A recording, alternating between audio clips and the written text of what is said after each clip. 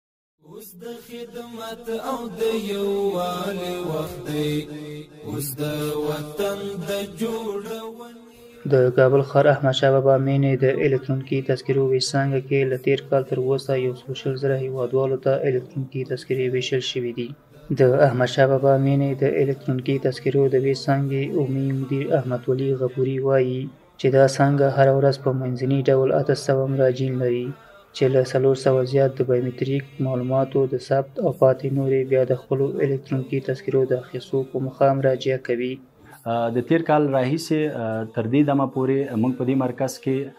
یو سل او شل زره الکترونیکي تذکرې درنو هېوادوالو ته وېشلې دي، چې له دې جملې نه یې یو لک او اتلس زره نوې تذکرې وېشل شوي دي او متبقي یې د وېش نه بعد خدمتونه هېوادوالو ته وړاندې شوي دي. د ښاغلي غفوري په وینا، په دې وېش څانګه کې د نوو الکترونیکي تذکرو پر وېش سربېره غوښتونکو ته له وېشه وروسته خدمتونه هم وړاندې کېږي. سربېره د نوو تذکرو نه، په دې مرکز کې موږ هېوادوالو ته د وېش نه د بعد خدمتونه هم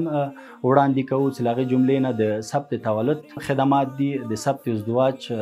خدمات دي او د مصنع تذکرو صادرول دي. او همچنان د تجدید د الکترونیکی تذکرو د تجدید پروسه خدمات موږ دلته په دې مرکز کې درنو هیوادوالو ته وړاندې کوو. همدارنګه د احمد شاه بابا مېنې د الکترونیکی تذکرو د ویب څانګې عمومی مدیر له غوښتونکو غواړي چې د الکترونیکی تذکرو فورمې په پوره دقت سره ډکې کړي. هیوادوالو نه مو هیله ده چې مخکې له دینه چې مرکز ته مراجعه وکړي د الکترونیکی تذکرو د پیژندپاڼو د اخیستلو لپاره خپل دغه کوم فورمونه چې دي په ډیر دقیق او منظمه شکل ډک کړي ترڅو آینده کې له سرګردانۍ او مشکلات نه خلاص یو شمېر هیوادوال چې د الکترونیکی تذکرو د ترلاسه کولو په مخه یادې یوې څانګې ته راغلي د الکترونیکی تذکرې درلودل له دولتي ادارو او نورو بنسټونو څخه د خدمتونو په ښه بڼه ترلاسه کولو برخه کې مهم ګڼي زه راغلی ما درته الکترونیکي تذکره واخلم نو ا تذکره کاغذي وه هغه فایده نه لرله ځکه چې شکېدله به هم جب کې به دې ښودلی نسله نو دغه له وجه نه هغه تذکره مونږ پرې خله دا تذکره ته متوجه ورکړه او دا تذکره ډیره ښه شی ده ځکه چې بایومټریک د کیږي فامیل نوم د راځي دی کې څوک داسې نشي کولی چې دا فامیل کې ځان ثبت کړي او بل چاته دې شي اجازه هم نه ورکوي ارزان قیمت اوسېدونکی یم زه دلته راغلی یم چې